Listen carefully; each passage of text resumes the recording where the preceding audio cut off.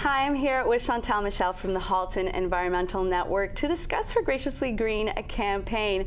Now, you were here last week and you were able to touch a little bit of base about that. Can you please recap that for viewers? For sure. So, the Halton Environmental Network has created easy tips for anyone to follow so that they can stay low impact while still being generous this holiday season. So, we have this guide on our Facebook page as well as our website. All you have to do is look for the Graciously Green campaign and you can follow these easy tips. That's great. So let's go over it. Let's dive right in. What's the first one? The first one is to go natural, which is really easy. So instead of opting for plastic decorations, a plastic tree, um, look for more uh, natural options. So we okay. can go outside with the family and gather some branches and pine cones and things that you can decorate, throw in a vase, tie a ribbon around it, and you have a beautiful centerpiece. So really easy ways to bring nature indoors while getting rid of those plastic materials. Well, yeah, I was outside for a walk the other day with my daughter. We got some acorns, and they're in a bowl now, and the smell is very aromatic. Of course, it, it gives yeah. it a nice touch, definitely.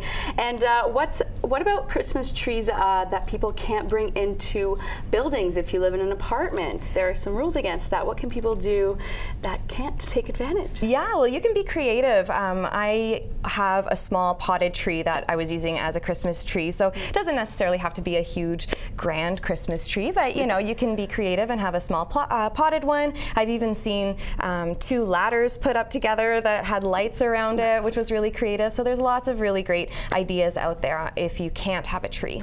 Of course, the experience of very of with your course. family is, is, probably the most low impact. Exactly. you can do this holiday season. And number two, what would uh, that be? Yeah. So uh, one of the things that I hate the most is food waste, and especially when we have lots of family coming over, you have your holiday work parties. They always want to have a lot of food food for the people that are there. But if people don't eat it all, it usually gets thrown out. So come prepared. Bring your own containers. Invite your guests to bring containers or have your own so that you can pack up the leftovers and make sure that someone eats it when they get home. And if you're not a fan of plastic Tupperwares, feel no shame. Bringing a glass one, you can keep reusing it, you and your whole family, and it, it lasts all year round. That's of a course. really great low impact thing to use. And freezing food, of course, if For sure. instead of throwing it out or passing it over to your neighbors, yeah. right? So the facts in Halton is that about 50% of our food gets thrown out. So it's really great for us to help minimize that and the holiday season is a great place to start. That's great. And what's the hashtag you're using this season? Yeah, so if you've done something graciously green, you can use the hashtag graciously green and share us